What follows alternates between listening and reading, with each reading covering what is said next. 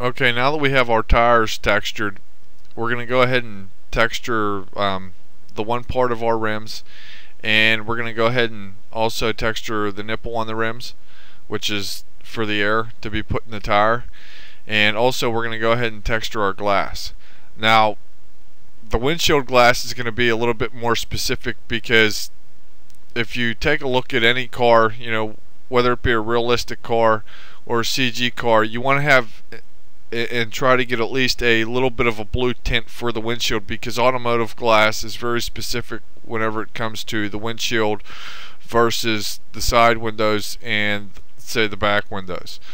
So let's go ahead and get started and we're going to go ahead and texture our rims and we're going to do this simply we'll go ahead and open up our hypershade and I'll bring it over here and we're going to be using a V-Ray material since we are going to be rendering with V-Ray. And we're just simply going to go ahead and bring in a file node here for the color which is just a specific orange. And that would be this. And I'm then going to go ahead and break the connections here on the diffuse color.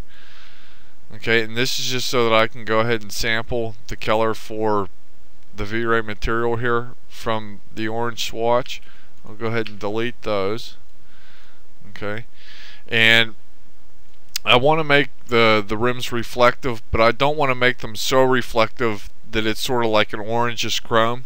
Um, I really want to try to keep it more of a a plastic.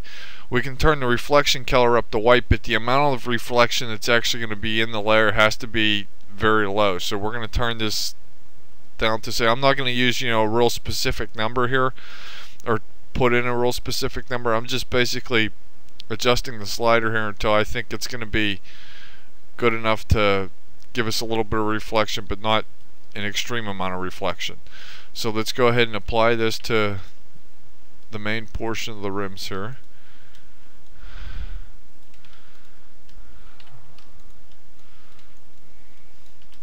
And I want to try to match the the car body color um, just a little bit off maybe which is probably going to be our best bet. So let's go ahead and maybe just try to adjust this off of the car paint shader and make it a little bit lighter which is probably going to be our best bet here.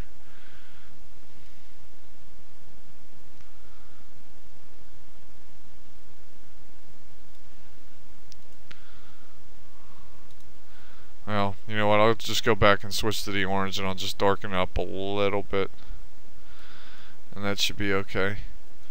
Now I'm going to go ahead and make a chrome material here for the wheel nipples and this is just going to be a V-Ray material that I'm going to turn slightly black and keep the reflection pretty high. Um, one's going to be a little bit too high and this is just to simulate chrome a little bit so we'll just call this uh, wheel wheel nipples there and we'll just go ahead and apply this.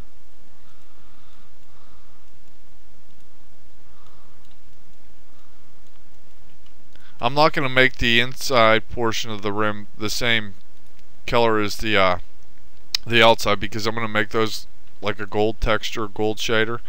So we'll go ahead and apply those. Clear that off of the workspace. And now we're going to go ahead and make the glass for our windows and like I said, this has to be somewhat specific and somewhat different. So I'm going to go ahead and maximize this and try and move this out of the way a little bit so that you guys can see what I'm going to do here. And we'll call this uh, first one the windshield glass. And we'll call this other one side glass. Go into the attribute editor here and the diffuse color here isn't really going to affect the overall color of the window glass. That's going to be driven by the ref refraction color. And the amount of refraction there is going to be 1 so let's go up here and we're just going to keep the diffuse color gray. And the main port that's really important here is the reflection color. So we're going to turn this up to white but we don't want the glass to be that reflective. We want it to be um, some re reflective, not a whole lot. We really want to try to make automotive glass. Okay, so let's get onto the refraction color here. And let's make it a blue. And go into your HSV, which is your hue, saturation, and value level. And we're going to turn the saturation down. Uh, and I'm just adjusting. There's no real specific um, number I'm going to be putting in here either. 0.101 should be should be good enough. We'll go ahead and apply that. And we're just going to use the same process for the side glass here, but instead of uh, I'll just show you here. Let me go ahead and make the reflection down to about the same as the other one here. And instead of actually coloring the refraction, we aren't going to color it. We're just going to leave it specifically white and that's going to be good so we'll go ahead and apply those. Let me close that so that you guys can actually see me select the model por portions here. And we'll go ahead and apply that. And I want to go ahead and uh, for our four ways here we need to go ahead and UV map these. So let's go ahead and into our planar mapping. And it's going to be in the z-axis and we're going to do the same here for the passenger side. Let's just repeat the tool okay and I'll select them both. Go into the UV editor here. And just scale them a little bit and then scale them down a little bit. And I'm going to go ahead and make another V-Ray material for these and we'll go up to the diffuse color here and we're going to plug a file node in. And this is going to be our yellow lens. And this is so if you know whoever's driving the car breaks down we can actually turn on four ways to be flashing. And we want to try to make this as accurate as possible. So we'll go ahead and apply this to the front and we're actually going to apply to the bottom ones on the back too. And I'm gonna reselect the material. Turn the reflection color up to white. Turn it down to say 0.117 and I'm gonna turn the refraction color to white as well. But the refraction is not going to be that much so I want it to be something like uh, say 0.131 well we can actually go ahead and look at what our side here is. And that is 0.220 so we'll just use the same. And I'm going to go ahead and apply a normal map in it as well so we can capture the detail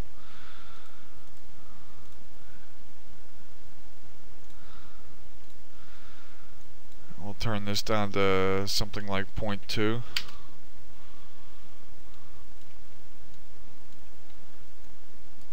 And there we have all those placed and applied. And I want to go ahead and make one more glass material so I can then apply it to the front part of the the fog lights and this is going to be a little bit different too and I want to sort of make these a little bit maybe orangish or red to try and match the body of the car. So the same process again turn the reflection all the way up. 0.117 for the amount of reflection. The refraction color I'm going to turn orange. Okay and you can see where it's like sort of red. And I'm going to turn that down turn that down here.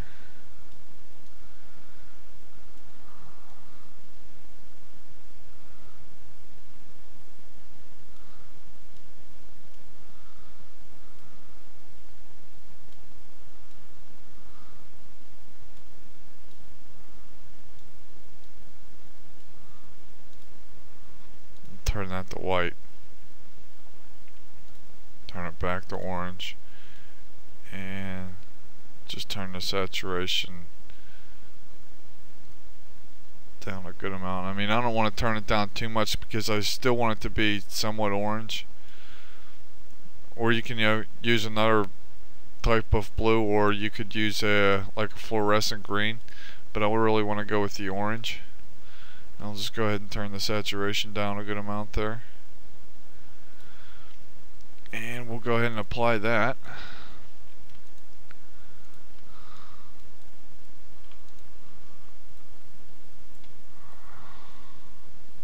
Rename it.